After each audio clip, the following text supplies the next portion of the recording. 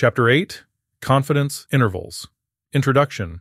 Chapter 8 discusses confidence intervals and their use in estimating population parameters. Confidence intervals provide a range of reasonable values in which the population parameter is expected to fall. This chapter explains the concept of point estimates and how a confidence interval is a type of estimate that is an interval of numbers rather than just one number. It also introduces the use of the student's t distribution and provides examples of calculating confidence intervals for population means with known standard deviations. Learning objectives. By the end of this chapter, you should be able to 1. Understand the concept of confidence intervals and their purpose in estimating population parameters. 2.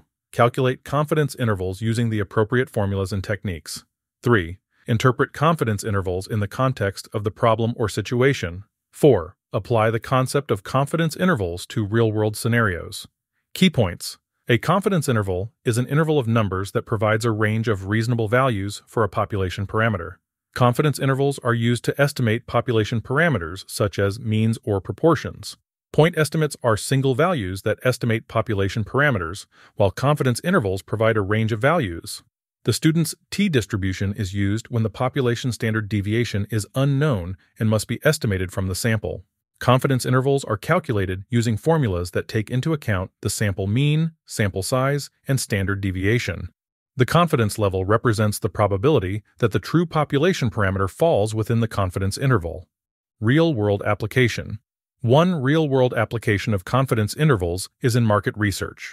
Suppose a company wants to estimate the average age of its target market. By taking a random sample of customers and calculating a confidence interval, the company can determine a range of ages that is likely to include the true average age of its target market. This information can then be used to make informed marketing decisions and tailor products or services to the specific needs and preferences of the target market. Conclusion in this chapter, you learned about confidence intervals and how they are used to estimate population parameters. Confidence intervals provide a range of reasonable values in which the population parameter is expected to fall. By calculating confidence intervals, you can estimate population means or proportions and make informed decisions based on the range of values.